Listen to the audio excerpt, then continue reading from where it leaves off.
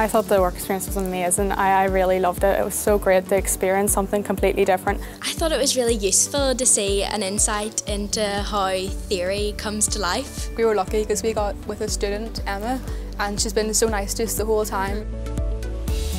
The students, when they're coming here, will get a first glimpse into the cutting-edge research that's done here locally, but on a worldwide level. It's not a staged experiment. This is real-life science. We have PhD students, we have senior staff and senior technicians here in the lab doing their day-to-day -day job, doing research, and the students come in and work with them for the few days that they're here.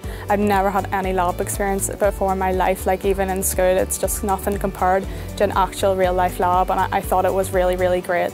Everyone so far has been lovely and very descriptive about what they're doing. So every time they'll do something, they'll take time to explain it to me to make sure that I'm following everything. So like in this lab, their main focus is MS.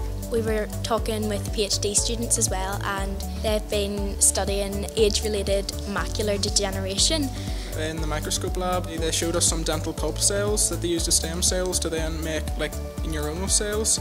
Well, they take like part of the tissues and they will stain it with a certain fluorescent dye and then you'll go and look at it under the microscope.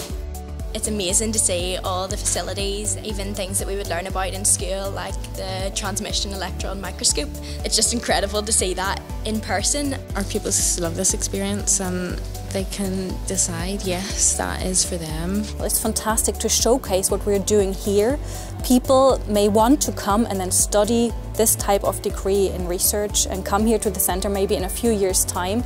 I'd highly recommend it to anyone because it does give them a real experience of what it is like. 100% if you're interested at all in research or lab work, 100% come here.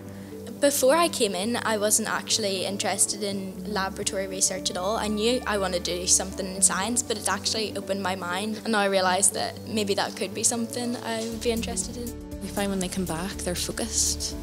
You know, they start researching what they need, where they want to go, and then UCAS comes up, and if they have that work experience to back up what they want to do, then it just all falls into place for them.